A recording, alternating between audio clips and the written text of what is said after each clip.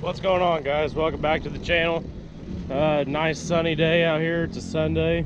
A little windy, so hopefully the audio ain't messed up. But uh, last night I actually worked on my V-twin and I'll show you the progress so far. I didn't get a video or anything of it, but uh, I got a I got a big mess going on right now. So uh, she's apart.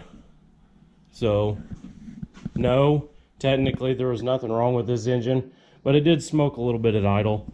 Um, or when you give it a little gas, it puffs some blue smoke. No big deal. But I tore it apart. Um, I'm going to go ahead and have these cylinders honed and get because there's like not really much crosshatch left in it. So gonna get the cylinders honed toss some new rings in it and throw it all back together. But I mean these pistons look brand new in this thing. I think this engine was pretty low houred uh, where's the heads at? Oh they're there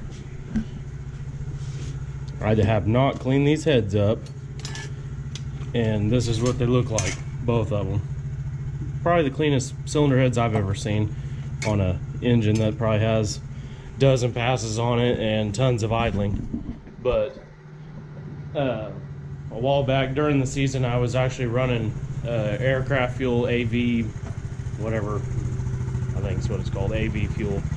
So I think that stuff has a lot of detergent in it and it just pretty much kept the cylinders clean. But yeah we're gonna get it cleaned up get it honed. I'll probably take it down there tomorrow and get some rings ordered for it. Um, and then we'll just start tossing her back together. And then like I said all I got to get is a clutch hub for the uh, driver so I can put it in this tractor. Here's the driver. Uh, I can find the other clutch hub. Here, this one is for a K series Kohler, like the one we got sitting over there. And uh, where did I do with the flywheel? Here it is. If you notice, this flywheel has a little taper or a little shelf to it.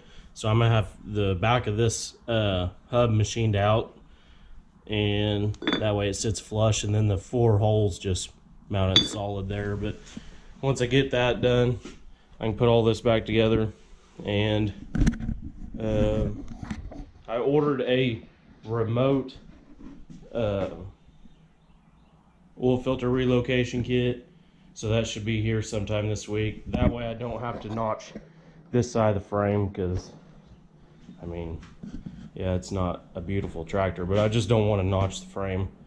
Kind of like it sturdy as it is, but uh, I have an engine plate out back that came off of a V-twin that I'm gonna use, so we'll have to set the motor, like I think it's an inch and 3 eighths further down in the frame, but that's about it. I've just been plugging away at this.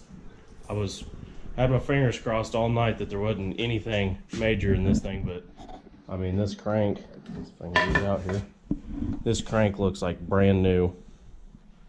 So I think this engine was pretty low houred. It actually came off of a um, irrigation system and it had some carb trouble supposedly and they just replaced the whole engine. So that's how I got that.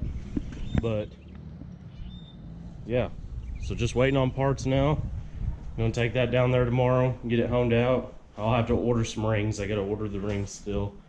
But after I get all that stuff, we're gonna start plugging away, getting this in there. So that's all I got for today, guys. So we'll catch you on the next one.